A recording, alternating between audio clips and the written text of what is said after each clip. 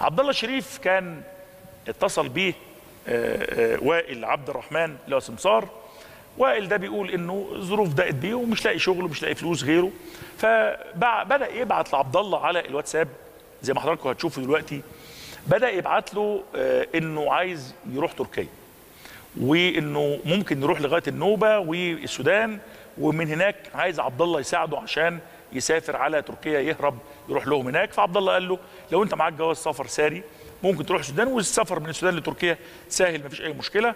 قشطة قشطة. إيه المطلوب؟ قال له أنا ممكن بقى أديك فيديو آه، مقابل هذه العملية يعني بايده ادفع لي فلوس ساعدني عشان أسافر وأنا هديك آه، سبق آه، غير مسبوق. إيه هو الفيديو اللي إحنا بنتكلم عليه؟ ومن ثم حصلت المرا- المراسلات والمكالمات.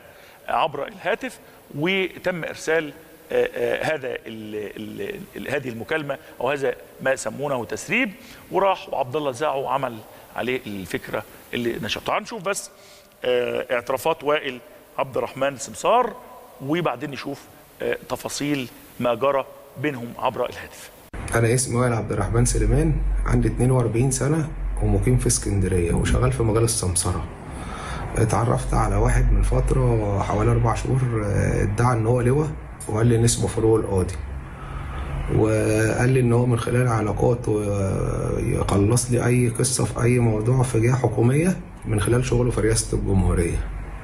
وبعت لي مكالمات هاتفية ولقيت من المكالمات دي إن الناس اللي بتتعامل معاه بتكلمه على أساس إن هو يعني بي- بيفخموا فيه وبيحترموه قوي وفي الفترة الأخيرة حصلت لي مشاكل مادية وفكرت إن أستغل التسريبات اللي انتشرت على النت المكالمات اللي كان بيبعتها لي اللي هو فاروق.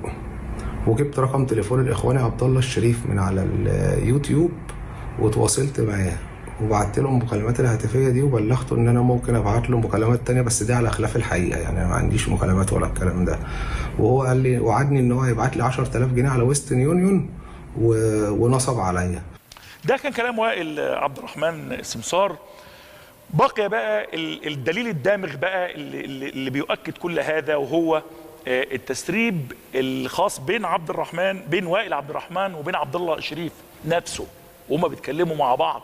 تعالوا نشوفوا ده لنؤكد اكتمال هذه المنظومة أو اكتمال هذا الفيلم أو هذا السيناريو الهابط. ده عبارة عن فيلم هابط حقيقي بلا قيمة أنا أقدر أسمي هذا الفيلم النهاردة سقوط عديمي الشرف. اطمن يا زعيم عبد الله الشريف معاك ومحدش بيفتح التليفون ده ولا بيمسكه ولا بيقع في ايد في إيد مخلوق غيري أنا. فأنا عبد الله معاك وأظن الصوت بتاعي واضح جدا تمام؟ بص يا جميل أنا بالنسبة لي مش عشان أعمل سبق صحفي مثلا ولا آه، أعادي الأولاد الذين دول إن أنا ألبس المصدر اللي جاب لي الحاجة لأن هي البطولة كلها عندك أنت على فكرة مش عندنا يعني أنا اللي بعت لي ال voice اللي فات هو ده البطل. أنا مجرد خدته ووصلته للناس أنا موصلاتي. فأنا مش هستفيد حاجة بضررك. ال voice التاني ده كان 22 دقيقة وما زال عندي قسما بالله 22 دقيقة. كل اللي نشرته منه حوالي سبع دقايق علشان ما اضرش التاني لأن في حاجات تضر اللي بعت لي. فأنت أي حاجة تخصك أي تلميح على اسمك أي حاجة فيها صوتك أي حاجة فيها كده تأكد تماما مليون في المية إن هي ما في مخلوق هيسمعها غير